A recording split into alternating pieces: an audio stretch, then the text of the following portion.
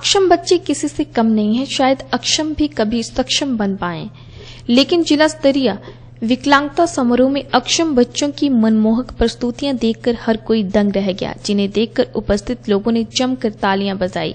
विश्व विकलांगता दिवस के अवसर पर हमीरपुर के एनजीओ भवन में जिला स्तरीय कार्यक्रम का आयोजन किया गया, जिसमें बतौर मुख्य अतिथि विधायक नरेंद्र ठाकुर ने शिरकत की। इस अवसर पर जिला भर की एनजीओ में रह रहे अक्षम बच्चों ने शिरकत की। कार्यक्रम के दौरान विधायक नींद ठाकुर का पहुँचने पर जिला कल्याण अधिकारी संजीव शर्मा ने स्वागत किया। विधायक नींद ठाकुर ने कहा कि अक्षम बच्चों को समाज में पूर्ण दर्जा मिलना चाहिए और अक्षम बच्चों को समाज की मदद की ज़रूरत है।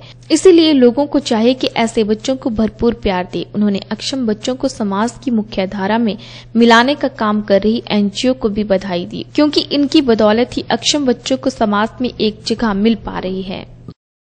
वर्ल्ड पूरे दुनिया में ये दिन मनाया जा रहा है। कि विशेष रूप से सक्षम जो बच्चे हैं, अगर सबसे ज़्यादा उनको समाज में, समाज की हेल्प पर सरकार की ज़रूरत, उन लोगों पर, उन बच्चों को पड़ती है। और मैं धन्यवाद और स्वागत भी करना चाहता हूँ एनजीओ का और उन, जो इनके एजुकेटर हैं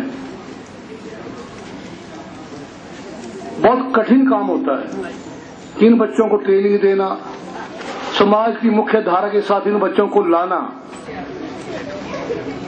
इनमें भी कोई प्रतिभा की कमी नहीं होती है। तो मेरा भी यही मानना है व कहना है कि अगर इन बच्चों को सही ढंग से इनकी केयर की जाए, इनको ट्रेनिंग दी जाए, इनको प्रॉपर एजुकेशन दी जाए तो ये समाज में अपना मुख्य रोल वो प्ले कर सकते हैं।